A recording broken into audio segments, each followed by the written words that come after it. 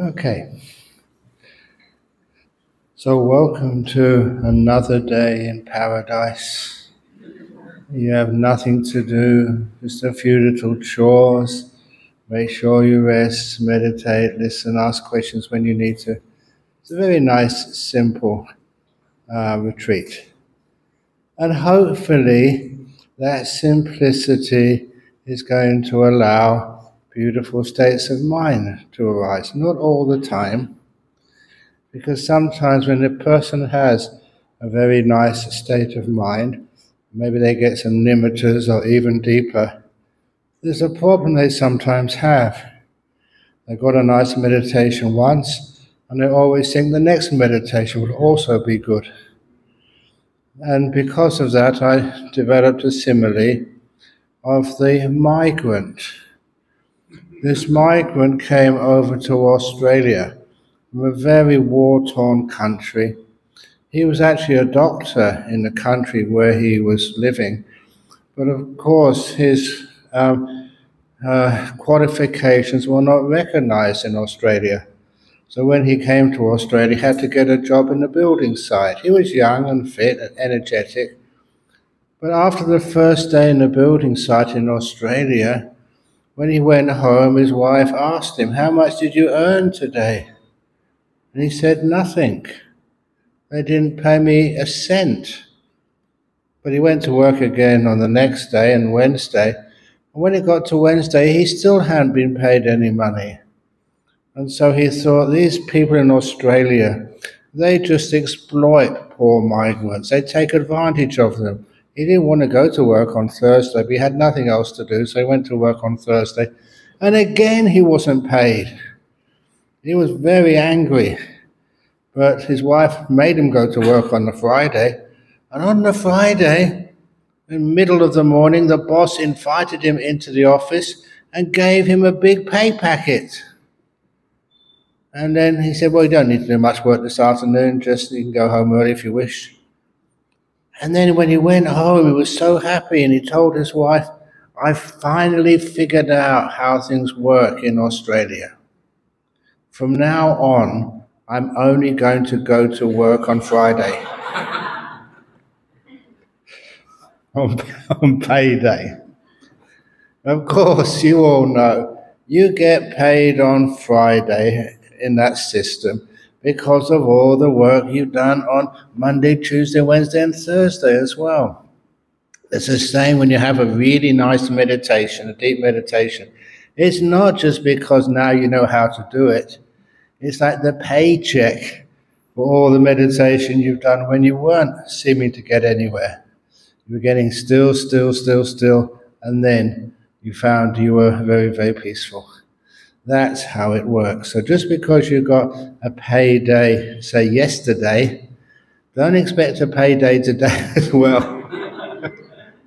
and just see how it happens. And little by little, the meditation gets more and more peaceful, and you get more paydays. And of course, the amount of cash in your in your payday gets more and more and more.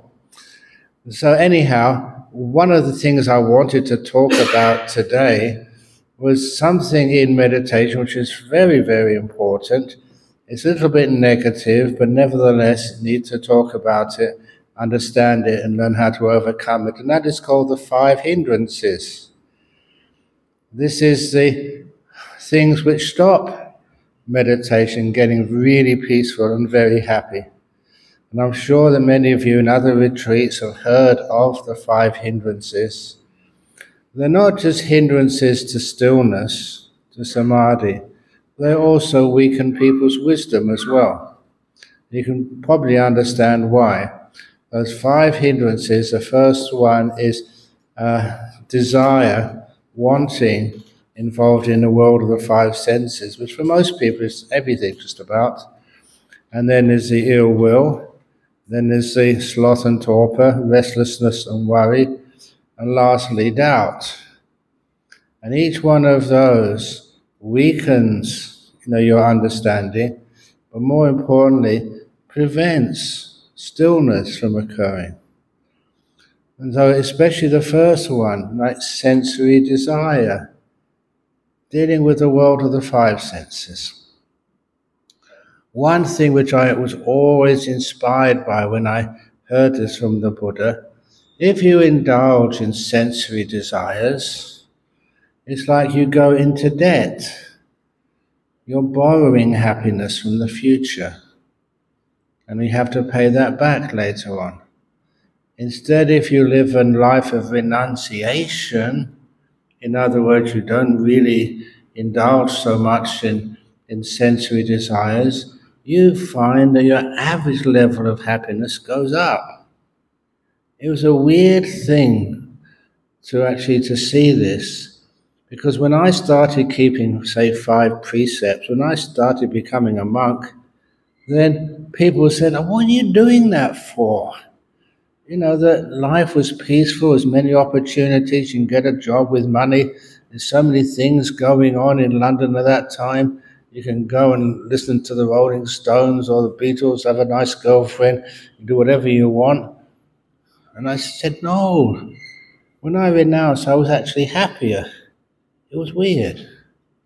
But my smile got broader the more I kept those precepts. And I still remember to this day, I was teaching a meditation retreat once I was a monk in Australia and of course, we didn't have our own retreat center. We had to use whatever retreat centers we could get. And this one was uh, in an old Catholic convent. They weren't using it, so we hired it for the weekend. And I remember just on interview times, I was between interviews and was just looking through the window. And there was two gentlemen who had just been into the Catholic church next door, were just saying goodbye to each other. And one of them said to the other, Be good. And the other one said, No, that's no fun. When I heard that conversation, I thought, Oh my goodness. These are supposed to be senior people, members of a church. One said to the other, Be good. And the other one said, No, that's no fun. And if I had the opportunity, if there was a door I would have gone out and told, them, no, being good is fun, more fun. This, that's what I've discovered over so many years. Every time you restrain, live a simple life, a good person, number one, you don't have any fears at all. I don't know what would happen. So I know sometimes Sometimes in monastery, because I'm the boss monk there, the abbot, sometimes like a policeman will come. And many of the other young monks, especially the visitors, they see a policeman come to the monastery and they, you can see they're a bit afraid of something. And all they need is because maybe somebody has passed away and they need to inform me. And all sorts of reasons. But so many people, if a policeman came to your house, knocked on your door, would you be afraid? If you have done nothing wrong at all, of course you can't be afraid. It reminds me of a story which I've been telling many people this time of the year because it comes up a lot in Western countries. It's about you know when you go invited to parties at Christmas time or New Year. So this, you know the story. I just had to say the first line, and Kirsty remembers it all. This guy, he went to a, a, a party for his company, and you know he had a few drinks, but you know one drink led to another drink. You know it was a bit sort of. Um, uh, sozzled, they say, maybe too much alcohol. And you have the choice drive your own car home or get a taxi because you know you're you're over the limit with alcohol in your, your blood. He decided, oh what the heck. Chances of getting caught are very low. So he decided to drive his car home. And of course, it was his bad luck. He got caught in a road traffic block. The policemen were, were the policemen were um, testing every driver who drove down this road. You know, even at sometimes they're driving me home from a, a talk over in town, and you get stopped by the police. And many times Now I'm in the passenger seat, and Anagarika, my driver, is in the the um, the driver's seat, and a policeman looks in, and he sees me. He says, "Oh, Buddhist monk. Okay, off you go." At least we've got a good reputation now over in Australia.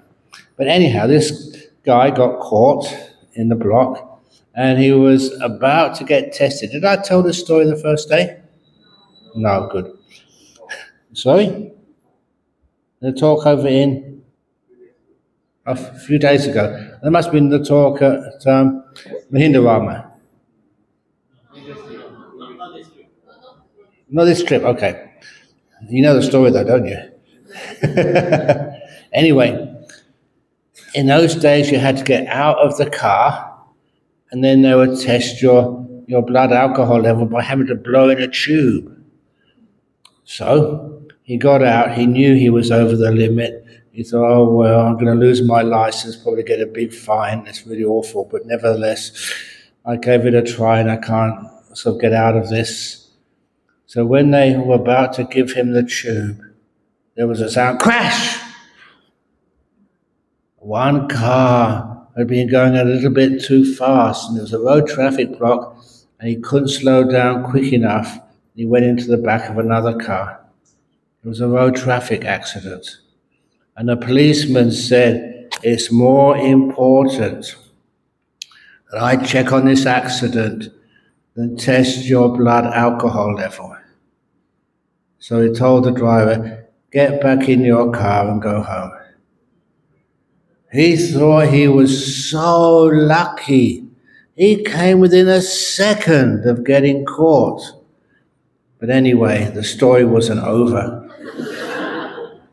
Because the next day, he was woken up early in the morning. Someone was ringing his doorbell and they wouldn't stop.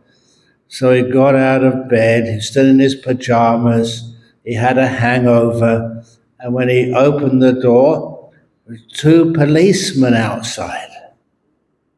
And he was scared at first, but then he thought, I'm not driving a car now. They can't do anything. So he relaxed and said, What do you want? What can I, how can I help you? And the two policemen said, Would you mind if we look inside your garage? And he thought for a moment, why do they want to look in my garage? I've got nothing there, just my car. So he went to the garage, he opened it, and when he opened the garage for the two policemen to look inside, he almost had heart attack. Because in his garage, there was a police car. his car was missing.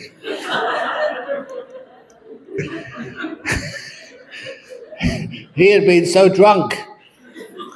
And when they said, get in your car and go home, he got in one of their cars and drove that home. you know, I remember telling that story in Kuala Lumpur many, many years ago. And the following day, I was going to give a talk at Ipoh, and they were going to drive me up there. And as I was driving in the car to go up to Ipoh, they had the radio on. And the radio presenter, I'm, I'm not quite sure what radio channel it was, they told that story. Someone had told the radio channel, and they repeated my story the very next day about the guy who had a police car in his garage. But anyhow, that was just saying just how dangerous it is that when you have uh, when you break precepts, when you indulge in sensory desires. But how can you keep that precepts in today's world? There was this disciple of mine, he said he really wanted to be a Buddhist. He wanted to keep the precepts, but that was one of the hardest for him to keep. When he went to a company function, they asked him, you know, would you like a drink, some alcohol? And he said, no, I can't take alcohol anymore. I'm a Buddhist. And he said, one of his fellow workers said, oh, you're a Buddhist. Very good. That's a very lovely religion. Buddhism is all about letting go. Come on, let go, have a drink. and that never worked. But then he said he found the solution. Now, when they, he goes to some company function and they bring around drinks of alcohol and they invite him to have a drink of alcohol. He says, No, I can't. Doctor's orders. And they always respect doctor's orders, so they leave him alone. When he told me that, probably what you're thinking too. Yes, you're keeping one precept about alcohol, but you're breaking another precept. You're lying. You're perfectly healthy. The doctor never gave you any orders. And that's when he taught me some Dhamma. He said, Ajahn Brahm, don't you know that many times in the suttas, the Buddha compared himself to a doctor? It was doctor's orders, Dr. Buddha's orders. So he was right. But anyhow, they always say that if you indulge in sensory pleasures, there's always a price to pay there somewhere. And if you can restrain yourself, your happiness, your safety level goes up. You simply got nothing to be afraid of. And you know that because you're a good person, other people would also be good to you. I know that some people say they take advantage of you. No. I found more people are helpful, are kind, are good when you're good to them. It's a beautiful thing to do, but desires actually stop you being good. What you want is more important than what you need to give. So, a lot of times, I know somebody said the other day, I answered the question, but I'm going to repeat it. What about, you know, the indulgence in food? That was something which always so disturbed me because I always thought too, if you indulge in food, that's another sort of sensory desire that's going to stop you getting deep meditation, getting enlightened. And because of that, when I was a young monk, the food I ate in northeast Thailand was disgusting. This was an indigenous culture. We'd only have one meal a day. And just to tell you the sort of food which I ate, this one day we had a bowl of sticky rice, just sticky rice, you know, no salt, no, um, there's no salt, there's no soya sauce, no chili, just sticky rice. And then each one of us, something to eat with the sticky rice, we had one frog on top of the sticky rice. the frog, it wasn't fried, it wasn't roasted, it was boiled. No salt, no seasoning, just as if the frog had jumped into the the bowl of hot water and then into your bowl. That's all you had for your one meal of the day frog on rice. And I, this is a good story to tell your children if they think that they don't need to study at school. Now, I was interested in science, and I knew one part of a frog from another part of the frog. But the monk sitting next to me, know, he'd been lazy at school. He didn't know what part of a frog was what. So, you know, once, you know, you ate the, the meat on the outside, it looks like chicken, then you have to start eating the insides, the organs. You needed it to eat, to survive. It's your one meal of the day. And he, not knowing what he was doing, he pressed the bladder of the frog. Yes, you're right, it still had urine in. And that frog peed all over his rice, even though it was dead. that was gross. But that's what we had to eat. That's all we had. And many of those monks got sick. It's very hard to eat some of the food, whatever crawled on the ground. That's what the villagers ate. They were very poor, subsistence farmers. They can understand just why. The biggest health problem was your digestion. I don't know what diseases you've had.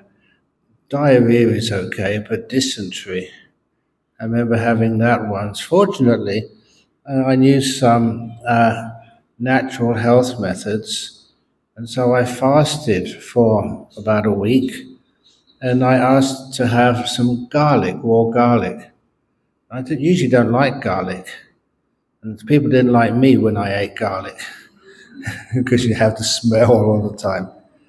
But that's all I ate, just raw garlic for about a week. And apparently that can, um, uh, it's a natural antibiotic. So that killed all those bugs which were given like dysentery. It's a really horrible disease. You go to the toilet and all that mucus and blood and stuff comes out. It's really smelly.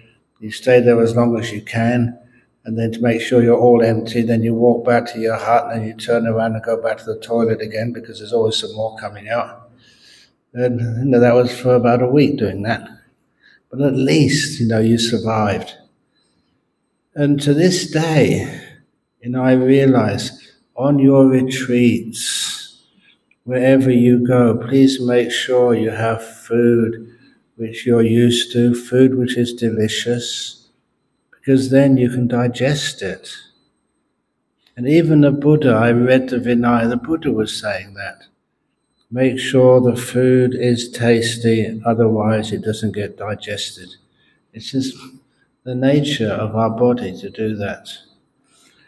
So that's one of those sensory desires which you just say, no, you have to make it reasonably tasty so that people can actually live a healthy life and especially on retreat, you can have a healthy retreat. And if that's what you can do, then it makes it easier to get into meditation. Your sensory desires are just not there anymore. And even things like eight precepts. Do you have trouble with eight precepts when you're here? You know why? Because in the afternoon and evening, you don't even see food. You can't smell it, it's not just around. And it's easy to restrain when you don't see these things. I remember as a monk, I was very happy in the monastery. I just have you one meal a day or two meals if you had a breakfast, and then your body was fine. But the problem came when you went to people's houses or you had to go to a ceremony, you're walking down the road. It may be a very hot day in Australia and then you see the ice cream truck. oh, I always saw the ice cream ice cream truck in the afternoon when I couldn't have one. and it always, I noticed, it always was more attractive when you couldn't have it. When it was actually there and you could just ask someone, they might ask you, do you want an ice cream Ajahn Brahm? In the morning, yeah, I could have one. But I didn't, didn't want one. But when it wasn't there, it became even more attractive. That's something with sensory desire, they can fool you very easily. Even to the point, because of my background, you know, I was born in London. One of my favorite dishes in those days was fish and chips. And I remember when I became a monk, you didn't see any fish and chips ever in Thailand. That was not part of their diet at all. And even when I went back to UK the first time after seven years, I thought, oh, I'll get some fish and chips this time. But they thought, no. You know, he's been in Thailand. He likes uh, rice and curry. I never had any. But eventually, Eventually, I think after about eight or nine years as a monk, I had to perform a funeral service for somebody, you know, in the morning. There's no way I could get back to the monastery for the morning meal before noon. But I could, on the way back, go to a shop and get some fish and chips. And that was okay because I had to eat something. So I was very excited. Today I'm going to get some real fish and chips. So, so I went to the shop, we got the fish and chips, And I was so excited, but when I started eating it, it was disgusting. All my fantasies never met reality. And I learned a lot about that. Sensory desire is very much thinking what it should taste like, what it should be like. When you actually get it, it's nothing like what you expected. It's really disappointing. but meditation happiness and the joy of the mind, that always exceeds your expectations.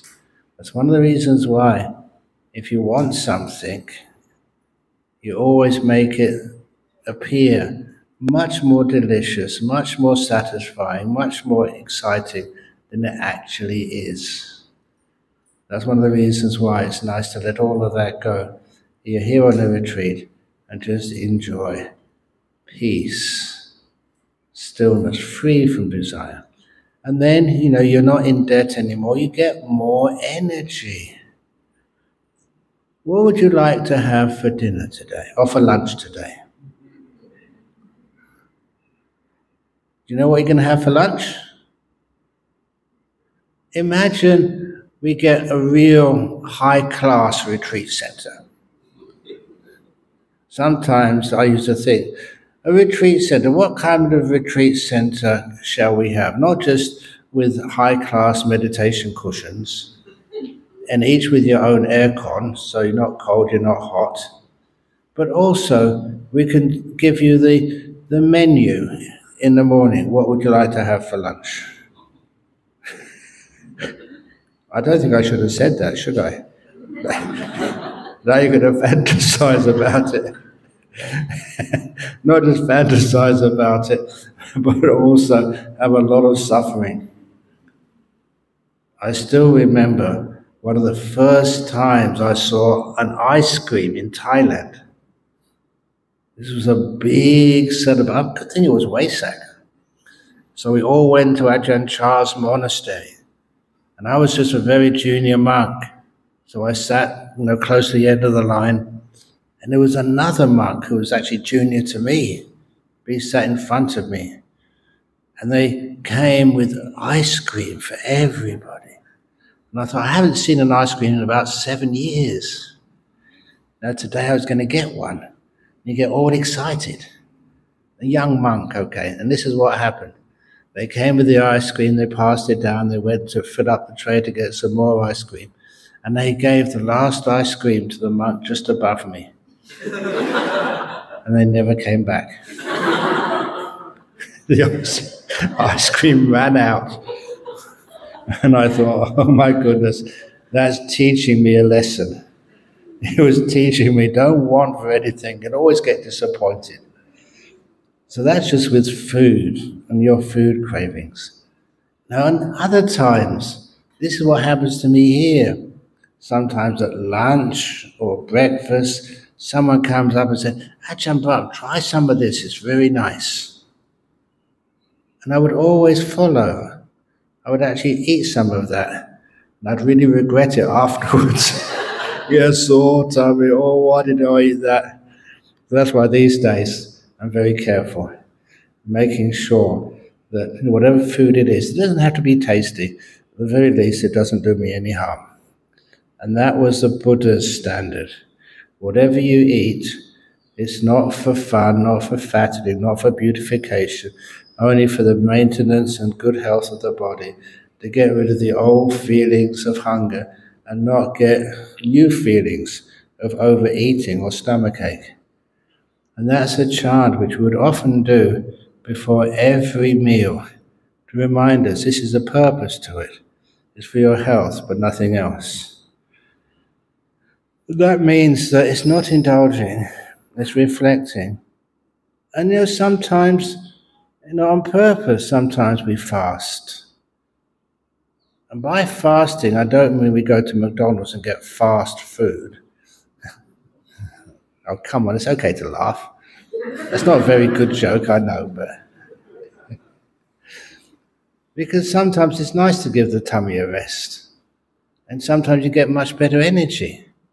Now, there are times when you're meditating, you get into some nice deep states. Because your metabolism goes down, you don't need so much energy. You don't need much fuel in the car if it's parked in the garage all day. And that's just like a body which is meditating. Metabolism goes down. You don't need so much, so you don't eat so much.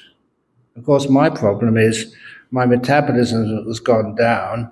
I don't need so much food, but I realize that you need to give it to me. That's true. He said, Ajahn Brahm, I got you some special chocolate. Please accept it. I'd usually put it in the bag and take it back and give it away. But if you're here, I have to eat it. and sometimes you may have seen me, I, I look at you. Say, Kai Sees gave me some chocolate. I look at you and I put it in my mouth and you smile. you know, you've actually given me something and I've actually eaten it. Not because I like it, because I understand how important it is to receive. You know, sometimes look, I never wear socks. Even when I was in UK recently, it was very cold, no minus, no not minus six, six degrees, four degrees, that sort of temperature. I took a pair of socks with me to UK. I wore them the first day and I thought, I don't need these. And so I took them off and gave them away.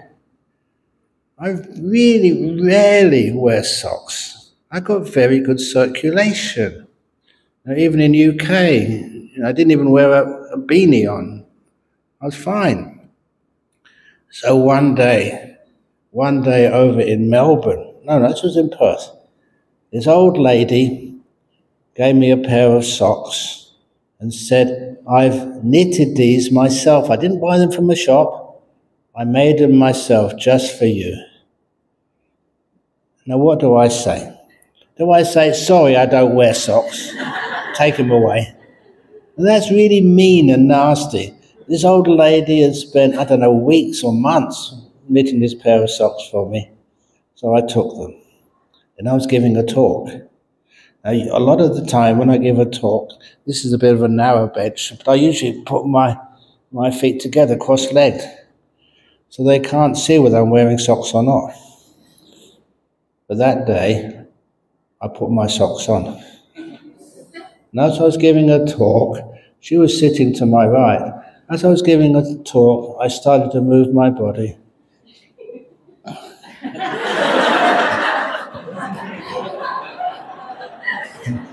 And exposed the foot.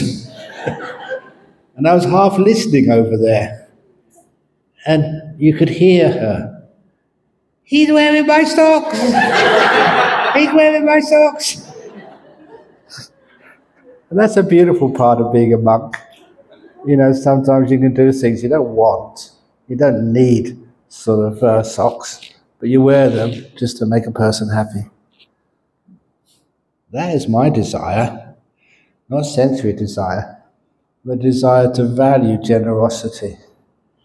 And the greatest story on generosity came from uh, a story a long time ago, and it was about the Dalai Lama. And this story, he was still in Tibet at the time, so it was a really long time ago. And there was an American journalist was following him around, doing an article about him. And this obviously a very famous and well-loved monk, the Dalai Lama. When he was in Tibet, he would go from village to village, and people would line up to do dana, give him some gifts. Not so much food, but other stuff and he would always accept it and give a blessing. And this journalist was getting more and more angry. This is supposed to be a holy man, the Dalai Lama. He lives in a palace. He gets the best food, the best clothes, the best everything. And now all these poor people are lining up to give him things. This is not right.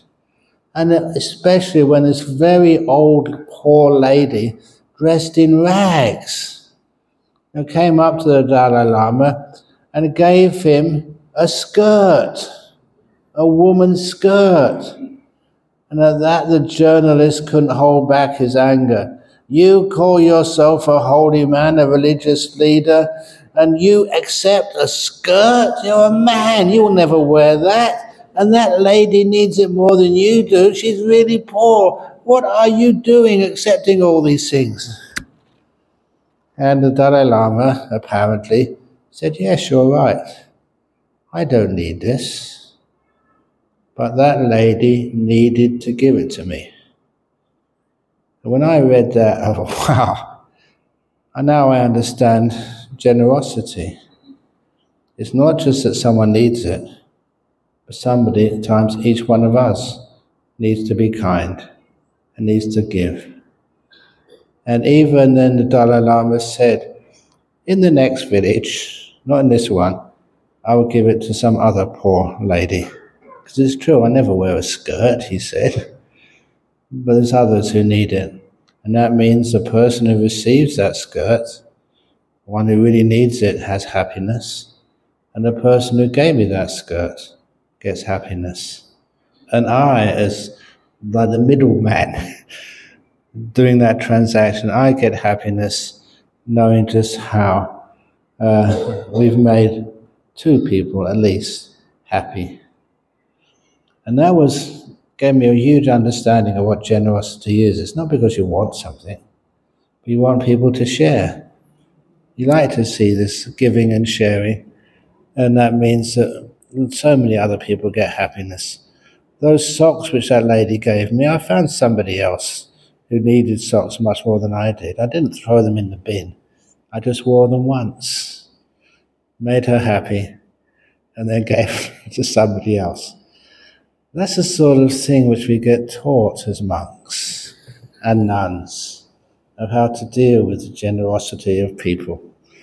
And it's not wanting, it's not sensory desire with food. It's like using it for its purpose, using generosity for its purpose. It's to make people happy, let go of, even just when we have, they had the donation boxes in the back over there yesterday that Amy and Annie were talking about. They're not even listening now. no, sorry.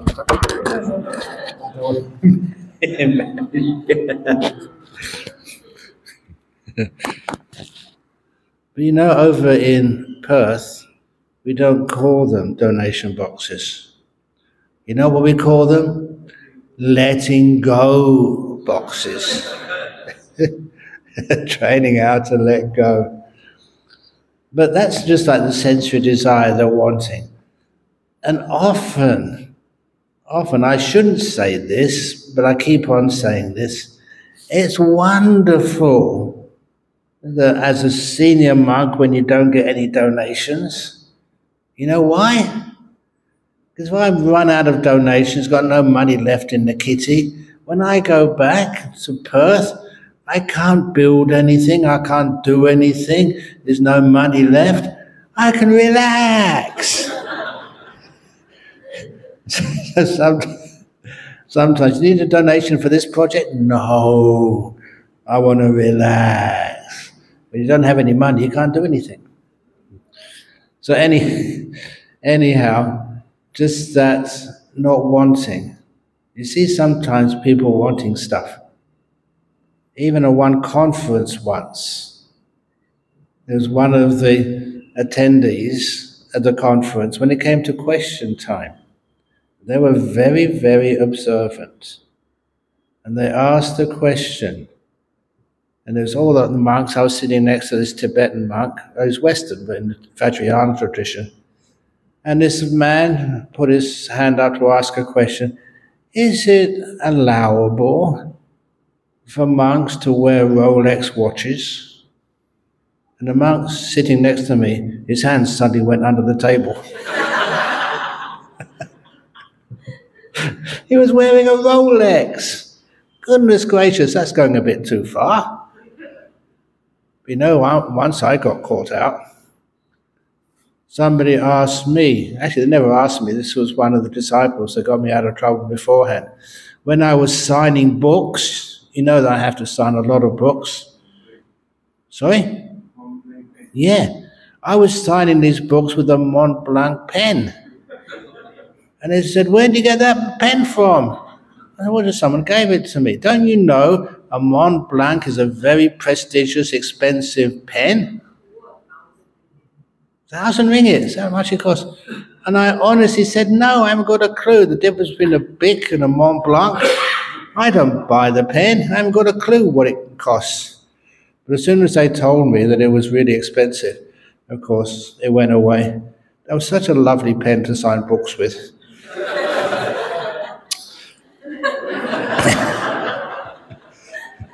but, what, but what I have now, you know, sometimes people ask you, What do you need? What do you want? I don't know.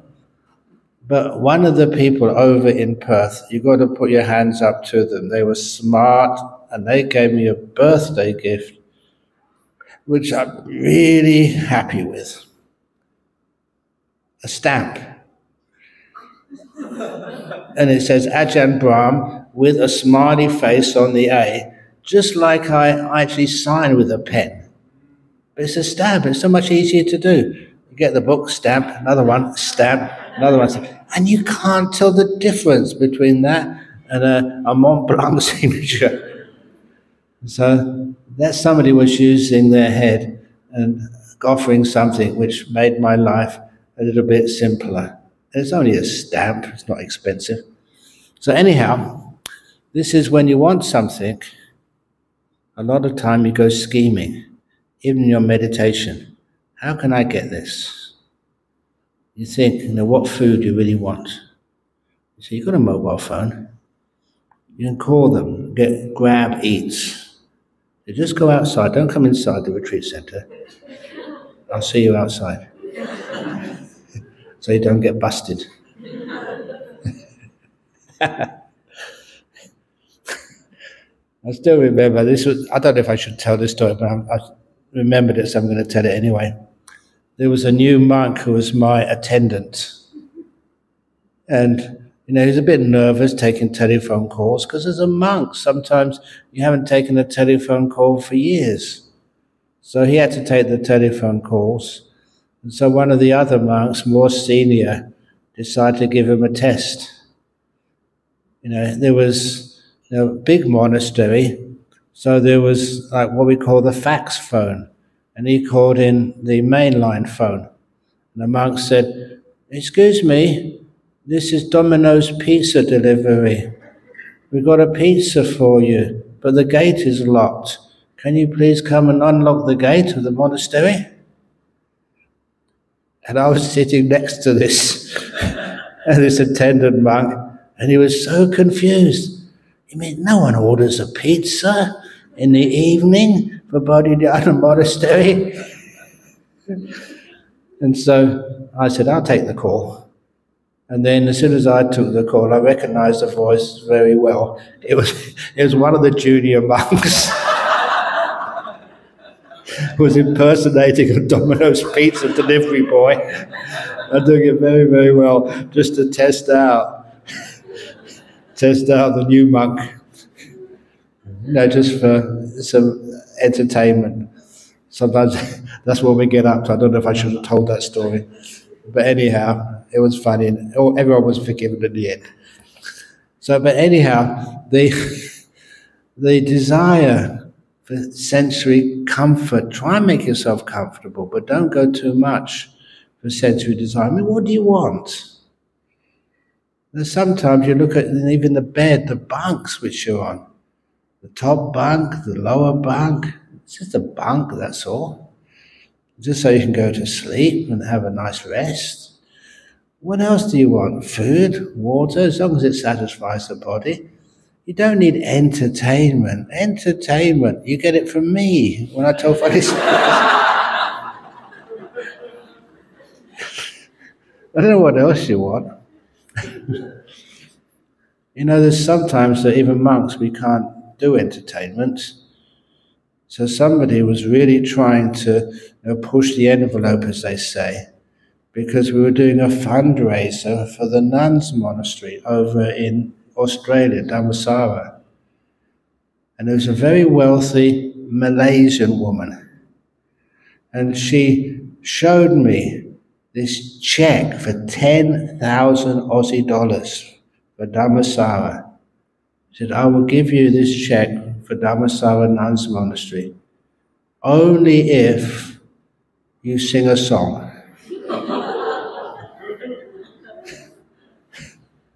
they said, monks can't sing. You know, we're not allowed to. He said, well, if you don't sing, I'll put this check in the bin. They put me in, in, a, in a dilemma.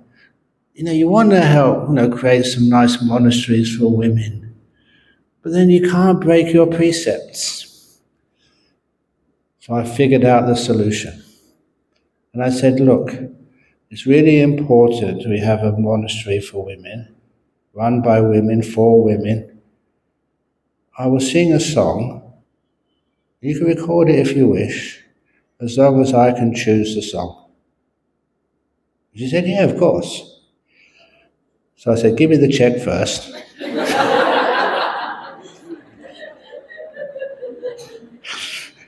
and then I said, I choose the song. It's a real song. It was a very big hit when I was young. A song by uh, the pair Simon and Garfunkel. Have you heard of them? Yes. Yeah. And the song is The Sound of Silence. and I was quiet for about 10 minutes. I never sang or said anything. That's the sound of silence, my version.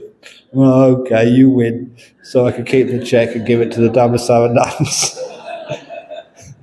but otherwise, singing you can't do. All that sort of stuff. But you can have the beautiful lightheartedness and fun. When you keep your precepts, it's much easier to laugh. And those people who said, be good, and said, no, it's no fun, I would argue forever on that. No, being good is much more fun. You have more energy, less worries, don't need to defend yourself, and you feel good about life. And people trust you.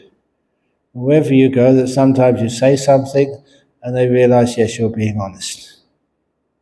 How many people, when they say something, can you trust them? straight away. You know, if that's what they say, you know, that's person I've known for such a long time, it must be correct. They may make a mistake or say things the wrong way around, but you know they never deliberately lie. And it's beautiful when you know people like that. I still remember an old school friend who came to visit me in Thailand. And he was a young man. When I told him one of the loveliest things to see in northeast Thailand is the morning alms round. So please come on the morning alms round. So what time is it? Well, we usually leave about 5.30 a.m. 5.30? I'll never get up by 5.30. And I told him, don't worry, I'll come to your door about 20 past 5, knock on the door to wake you up, and you just quickly get dressed. You don't have to wear that much on alms round and he can come with me on the alms round. And of course, that's what I did. And on the way back from the alms round, he said, That was such a unique experience that night before. Because I knew that you'd be there, as you said, at 20 past five to knock on the door and wake me up. And you were. Said, I live in London. So you can't trust anybody to do things like that. But I knew because you're a monk, a spiritual person, I knew you would actually do that. And they meant so much to me. And those sorts of things, I take that for granted. But can you always take that for granted? Maybe even your child, your partner, you know, your parents, your child. Are you, when they say, Yes, I'll be there and I'll pick you up at that time, can you trust that? It's wonderful when you can. It makes life so much easier and more joyful. So, anyhow, that's when we don't have any ill will, we have trust. And that's also part of uh, those five precepts already here, that sometimes some of you say you've done something wrong and you're guilty. Oh my goodness, Just forgive yourself, let it go. It's more important. You can learn, grow, let go, go beyond that, so you can have some peace and happiness in your life. Don't be afraid of making mistakes. Because sometimes the aversion, the aversion leads to you know, punishment, revenge, and that just makes the mind very tough and very, very unpleasant.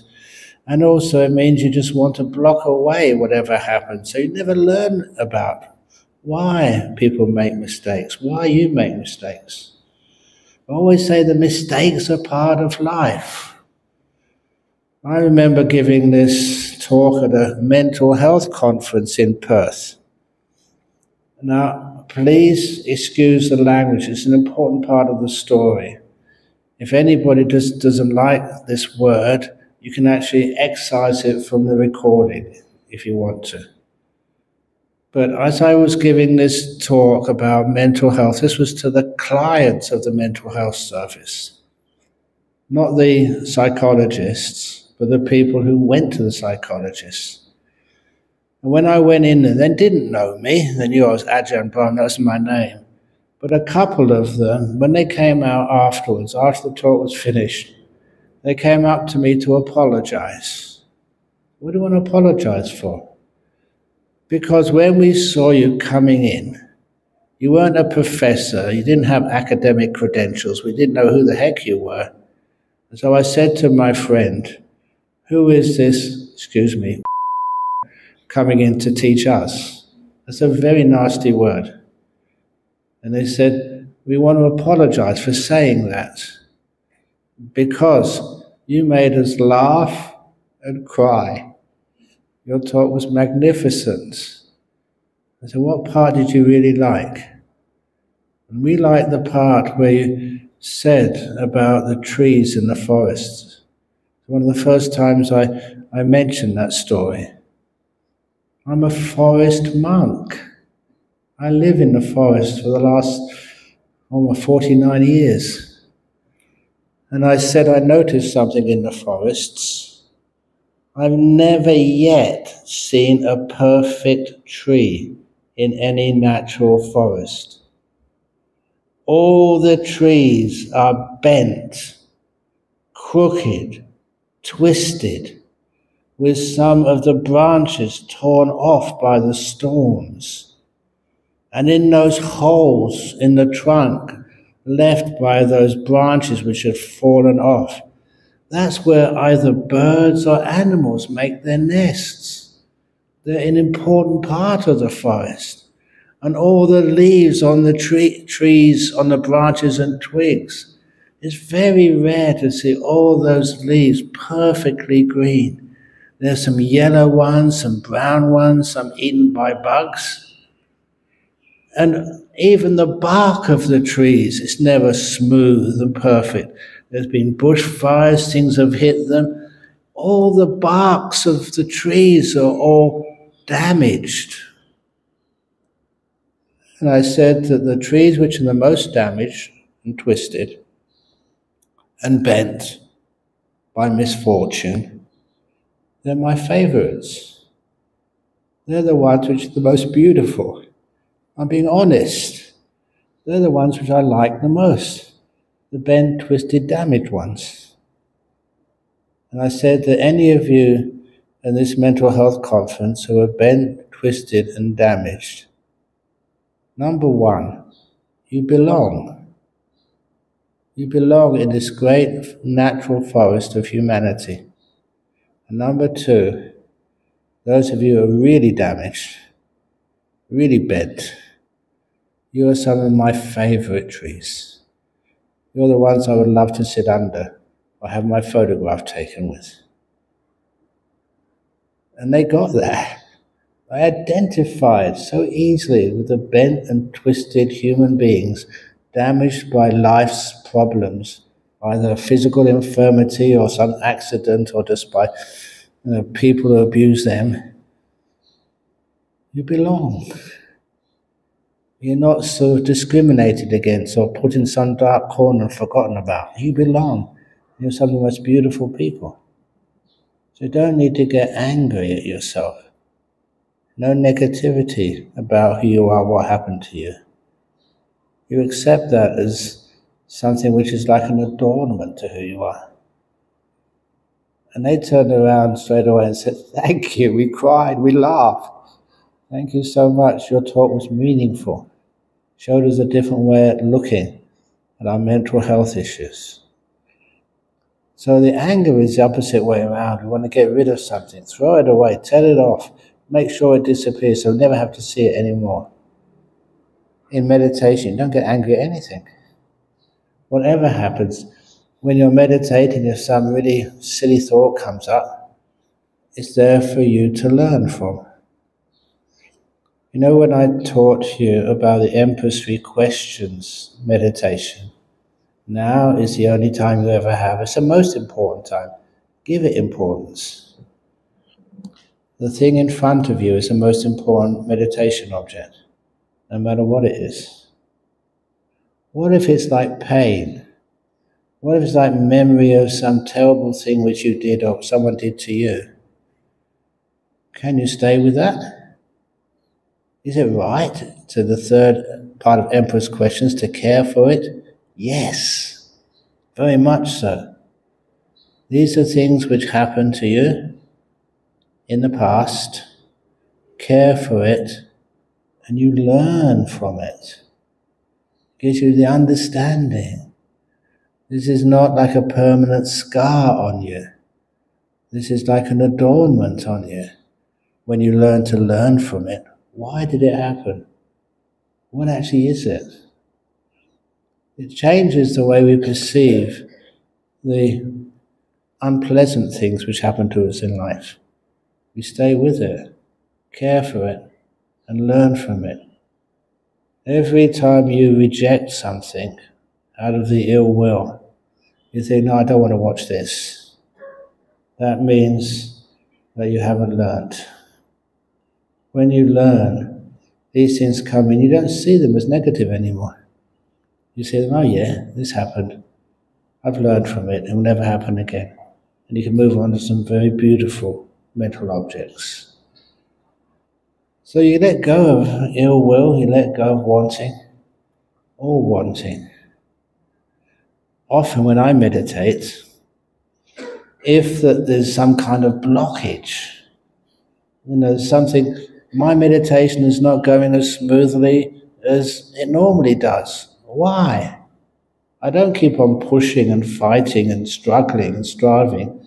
I always like to use that insight. Why? What's going on?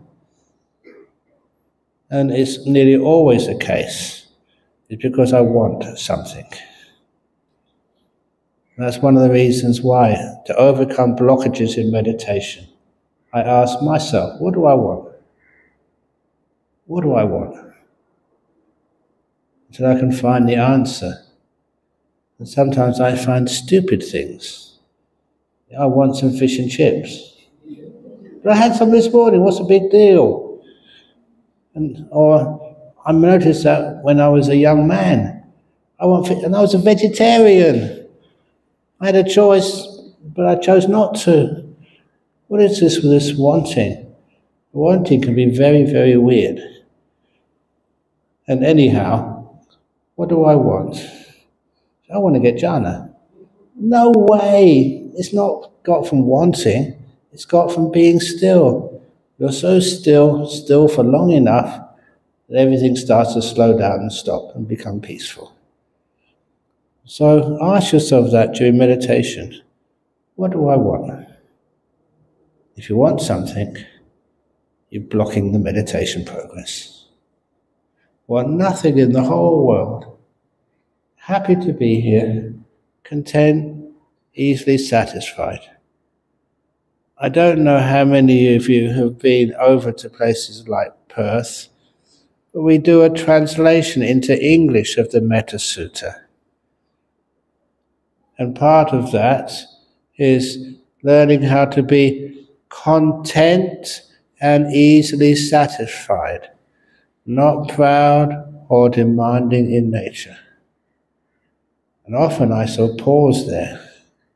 I said, this is really telling you something about the Buddha's teachings of meditation.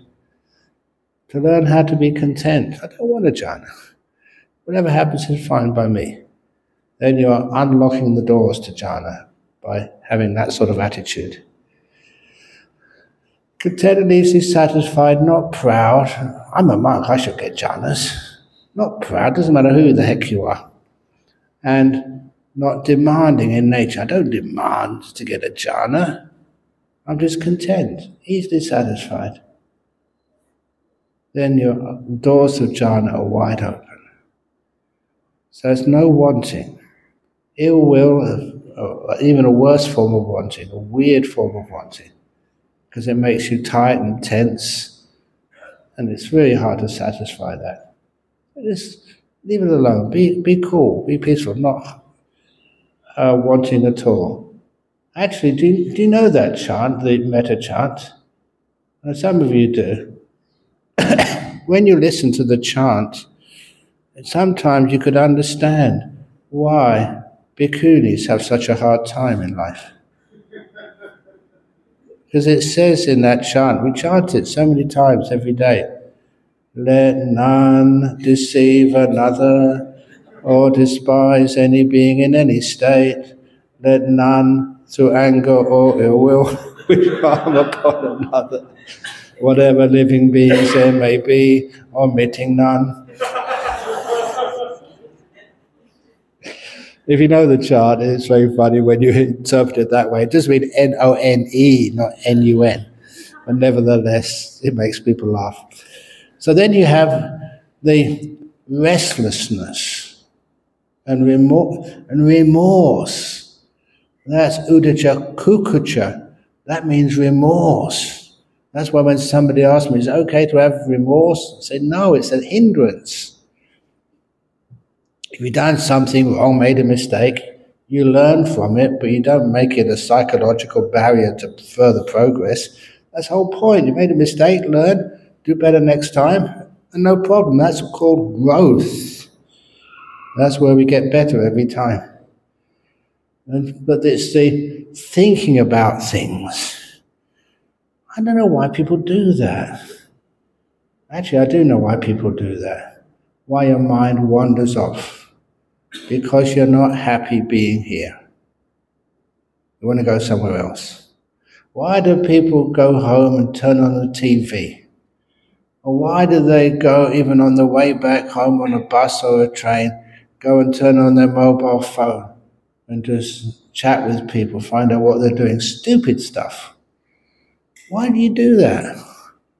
It's a form of escapism because you don't know how to be here and be peaceful right here, right now, enjoying this moment.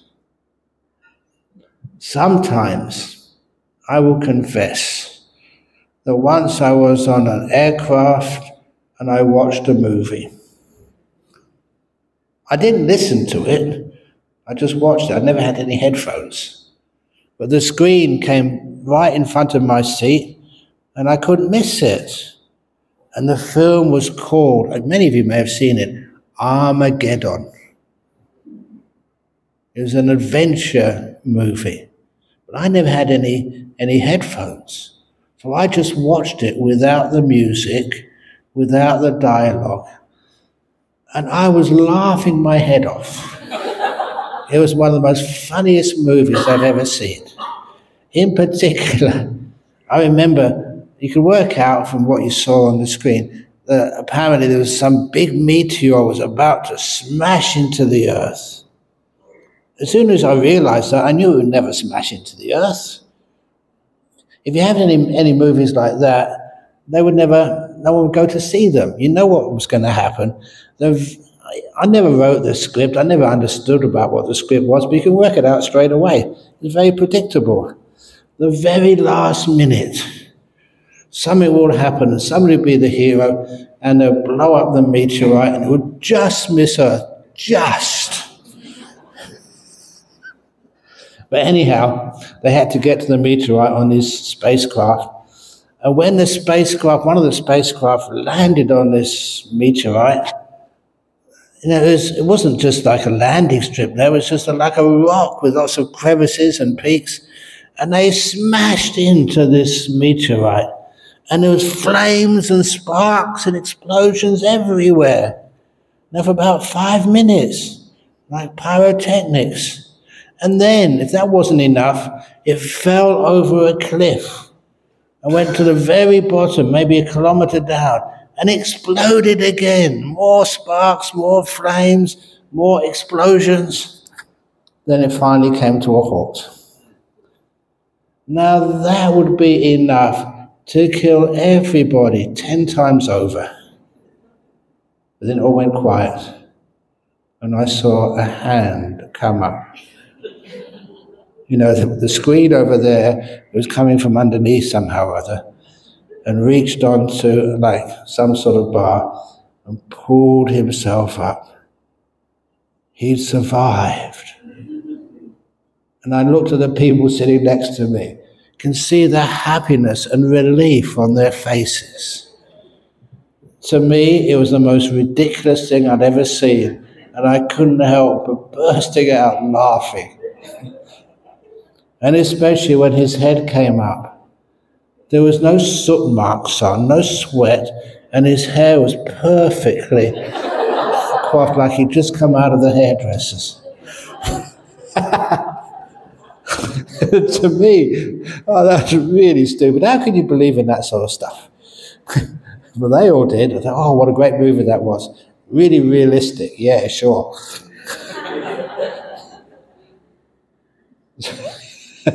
so, anyhow, when you see reality with reality, because apparently all that music and dialogue that is there to control your emotions. You know, a lot of times, if you ever see it like a ghost movie, you can always see the sounds get very spooky and very low. It reminds me of the story of this man you came to one of my talks. And after the talk was finished, it went on a bit, as I always do go on a bit, uh, I passed the usual time. There were two ways back home. The first way was actually the long way around. There was a shortcut, but the shortcut meant going through the cemetery. So he thought, I don't believe in ghosts, you know, ghosts can't harm you. So he decided to go through the cemetery. And as he was walking through the cemetery, one thing you notice in the cemetery, the lights on the street are always closer together. In the cemetery, they're always further apart. So it's much darker in the cemetery. So he's walking through, he got to the halfway mark through the cemetery, nothing had happened at all. As he went a little bit further in the cemetery, now closer to the, the exit gate, he could swear that he could hear something following him. You know, I was probably just a dog or something, but nevertheless, he noticed he was walking a bit faster. And as he was walking faster, whatever it was was following him, he could hear more clearly. Bump, bump, bump and he made the biggest mistake of his life. He turned round to have a look. And what he saw was so incredibly impossible and scary. What he saw was a coffin, vertical, but still the cobwebs and the dirt was falling off it. Bump, bump, Bob chasing him. He was being followed by a coffin. So he turned around and he ran as fast as he could. The gate wasn't that far. He thought if he gets through the gate and out of the cemetery, he'd be safe. So he ran fast, but he could also hear behind him bump, bump, bump, bump, bump. The coffin was chasing him, he got outside the cemetery gate but the coffin never stopped. It went down the road chasing him. He was really in big trouble. But then his house was very close by. So he got to his house, he got like a garden gate. He never opened the garden gate, he jumped over it. Saved time. And he could see, bump, bump, bump, bump. The coffin was catching up on him. Vertical coffin. No wood and the dirt all over it. He didn't know what it was following him for. But he jumped over the garden gate, ran down the path, got the keys out to his front door.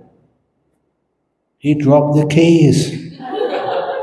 you know what happens when you're really nervous and afraid? You make mistakes. And that coffin, it couldn't jump over the gate. It crashed through it. Bump! And went right through the gate. And there he was. He could see it, you know, coming really close to him. He picked up the first key he could, put it in the lock. so fortunate it was the right key. He turned the lock, opened the door, jumped inside, and banged the door shut just as the coffin came to the front door. He could see it through the little glass they have, you know, in the front doors of people's houses. he put all the spare locks on, the bolts, everything, to make sure he was safe. He was in his house now. He'd be safe. Bump!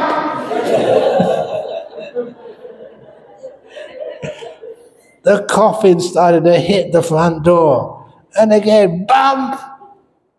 And you can see the, the hinges start to come off you know, from their screws. This was a really strong supernatural coffin. What to do now? It was only a matter of time before that coffin broke through the front door of his house. And then he would have no place to hide. He had an idea. He went up the stairs to the second story to the only other room which had a lock on it. Now, the bathroom.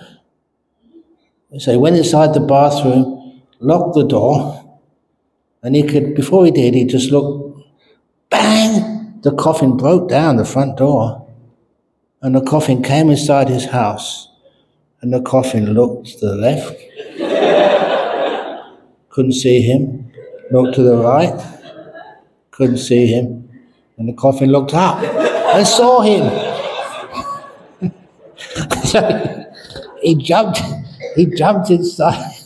He jumped inside the toilet, the bathroom, locked the door, and went against the wall, just hoping.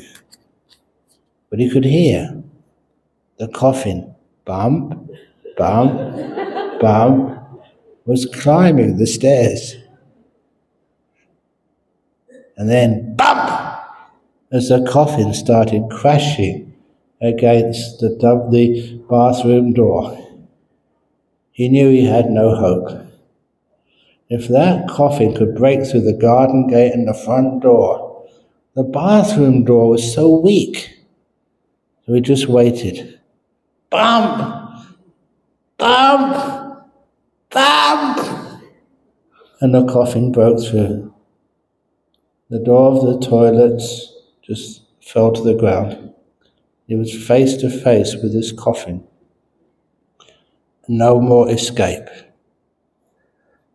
Almost instinctively, he reached for something to throw at the coffin. He got this bottle of medicine from the bathroom shelf and threw it at the coffin. It was a glass bottle. It broke, and all this brown liquid fell on the coffin and the coffin stopped moving, never moved again.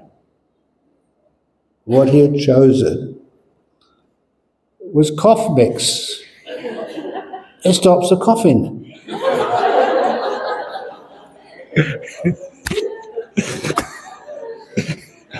of course, it stops the coughing. That's what the that's what the doctors and the people in the medicine department know. So if you want to get chased by a coffin, make sure you've got some cough medicine. Throw it in the coffin, and that will stop the coughing. Thank you for listening. Sadhu.